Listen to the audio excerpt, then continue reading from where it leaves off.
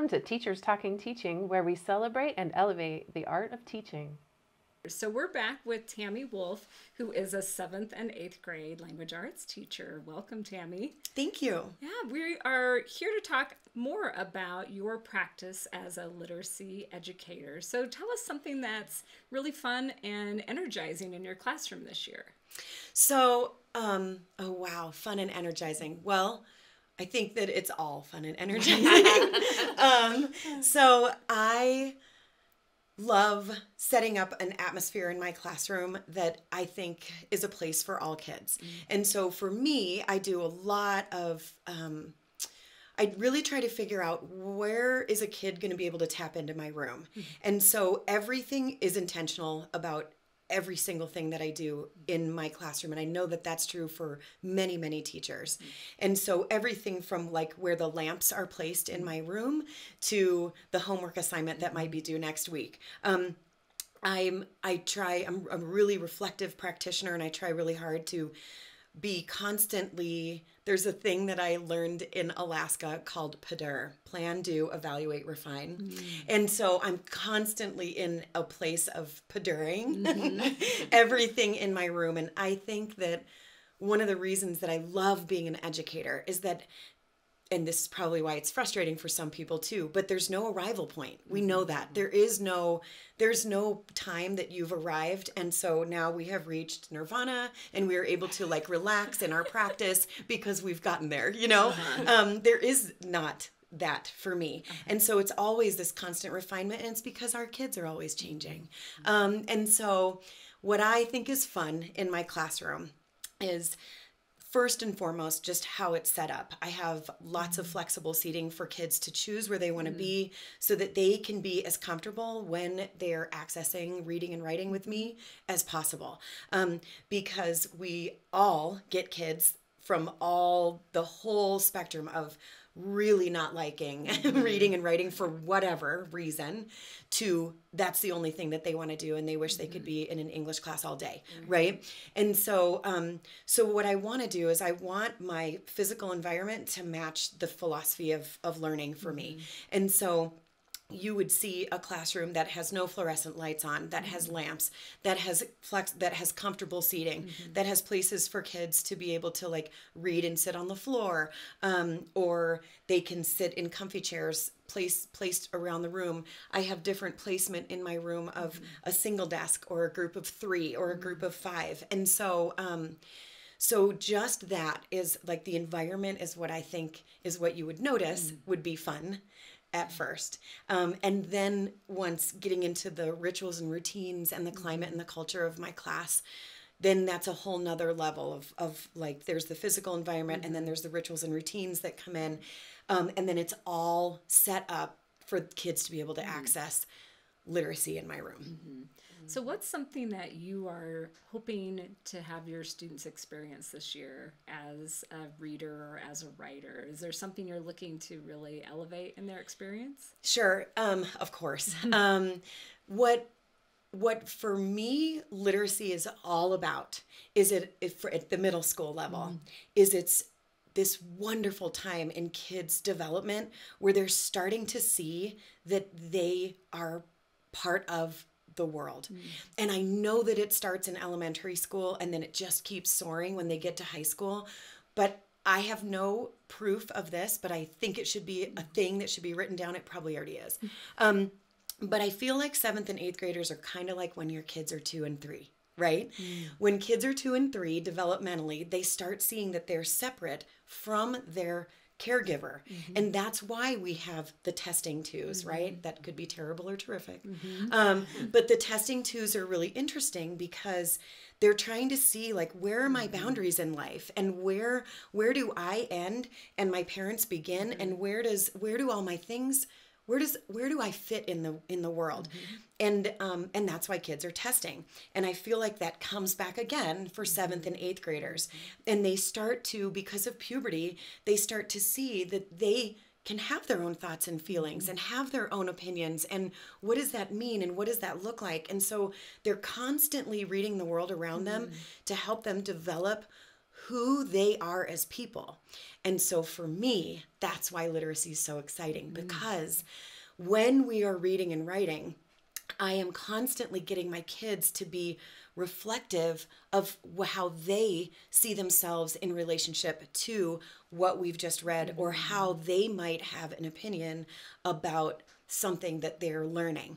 Mm. Um, and seventh grade standards are a lot about the beginning of that work, a lot about summarizing, a lot about being able to read the world talk about the world and start that. And then eighth grade is the standards are heavy into argument which i love because they love to argue anyway. And so i get to channel that. right? So i get to channel that into what do you care about? Yeah. so in that PDERing right the plan do evaluate refine i'm always creating lessons and units where i try to think to myself what do I actually do as a reader and a writer? What do I do?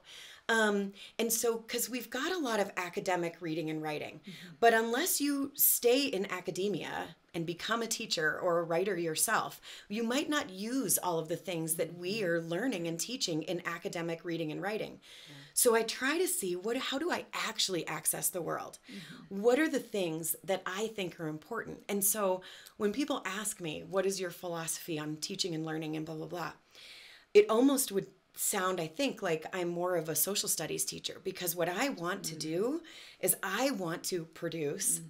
students who are actually citizens and critical thinkers of their world, mm-hmm. regardless of what they decide to do post secondary.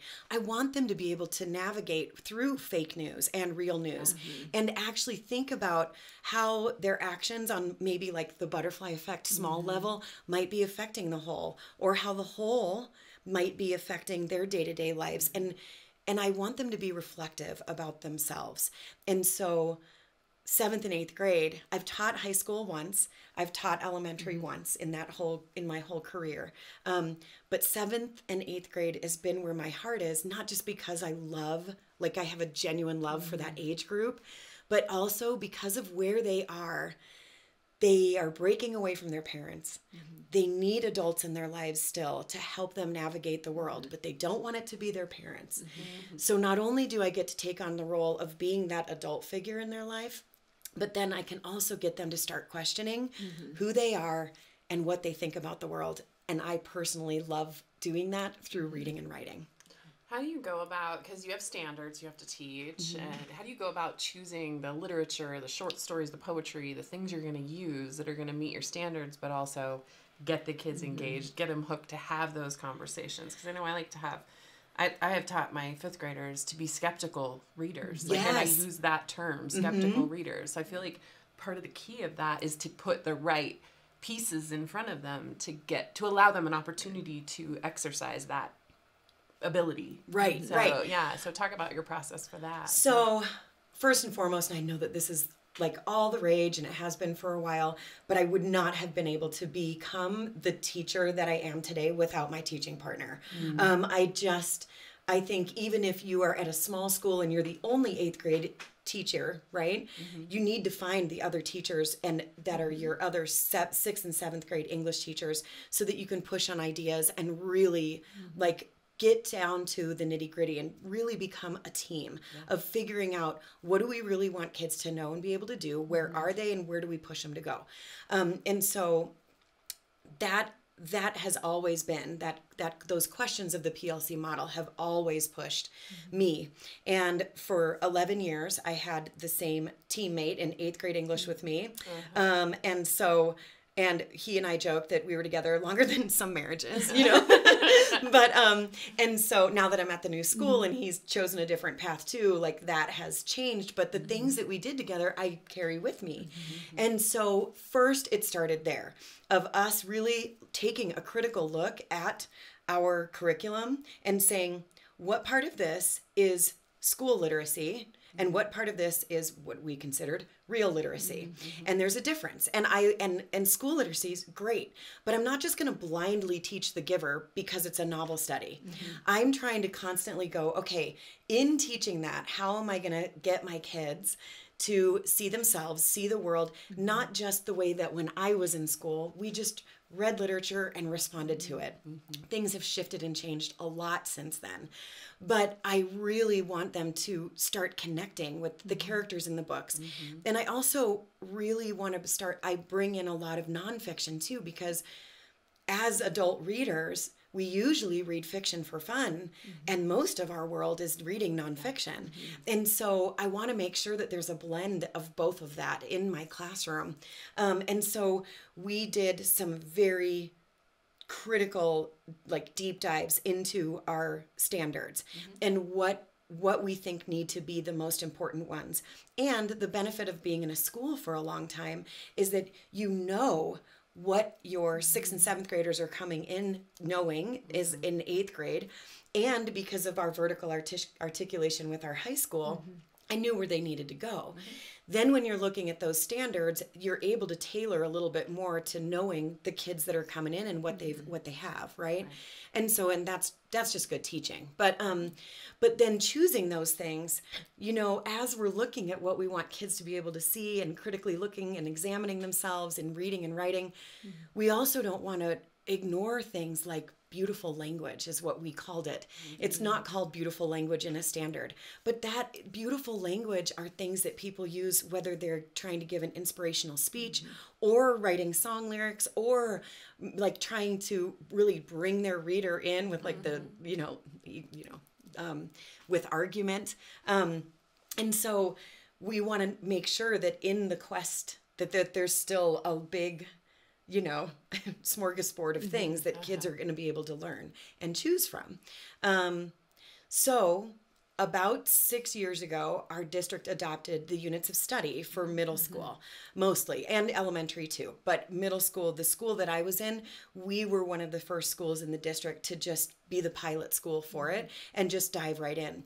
So, I've had some experience with that. And what I love about it is that um, it's not a we're all going to be on page 58 on you know mm-hmm. saturday or you know monday the 5th or whatever. Um, it's about getting kids to be these critical readers and writers. Mm-hmm.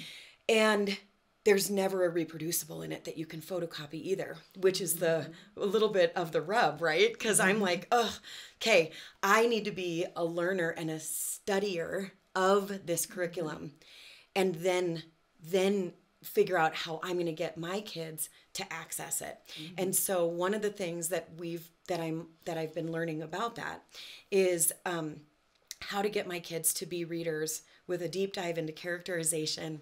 Um, and in units of study, they call it windows, mirrors, and doors, and how to look at characterization as a reflection of yourself, a doorway into another culture, or maybe even some kind of like peek into another way of being or knowing or listening. And so that just that those like three little words have been like really inspiring for how kids can access what they read and then start to become reflective of who they are and their positioning in the world.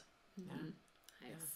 So when you think about, you know, we're in October of the school year right now. When you think about what you want a kid to say when they walk out of your classroom in May, what's the parting words that you want from a kiddo? Wow, that's such a good question. Um, I think that I'd love to hear a couple of things. Um, you know, I often say to to my colleagues and even kids sometimes, I'm like, it doesn't matter if you like me. What I care is that you've been learning. And so, um, of course, I would love kids to say, like, Miss Wolff, I'll miss you. you know, um, because of course we're in it for the kids, you right. know? Um, but I think what matters even more to me is that a couple of things. In the soft skills, I would love for kids to say to me that they felt safe to take risks. They felt safe to share their writing. They s felt safe to get up in author's chair and read something that they wrote to this to the class. Um, and that my room and the way that we have a culture of learning in my classroom gave them the opportunity to feel safe to take risks. So because I think I also believe in literacy that you're not going to become a better writer if you don't feel safe trying to take the risks to talk about things that you believe in or the way that things should be right? Um, and so i want them to feel safe in that regard. So that would be the the soft fun thing that i mm-hmm. would love to hear from them. Um, but then i'd also love to hear in their reflections, which I do often mm-hmm. throughout the year, I have them look at earlier pieces mm-hmm. to start reflecting on the things that they've learned that are actually like some of those skills, the knowledge and dispositions in being an, a literacy kid. I want them to be able to actually pick out things that they're seeing that themselves as authors are doing mm-hmm. in author moves where their language changed mm-hmm. and where they were able to develop themselves as writers and actually pinpoint how they've moved on this mm-hmm. like progression of how they were when they first came in to now how they are at the end. Amazing. Yeah. Well, thank you for sharing your literacy genius Yeah. with us. We really appreciate you being here and are inspired by the philosophy and the approach that is important in creating an environment for learning in your classroom. Thank you. Yeah, thank you. Thank you both. If you liked what you heard today, go to our Facebook page and like and subscribe. You can also go to YouTube and join our YouTube channel, as well as listen to us on your favorite podcasting app.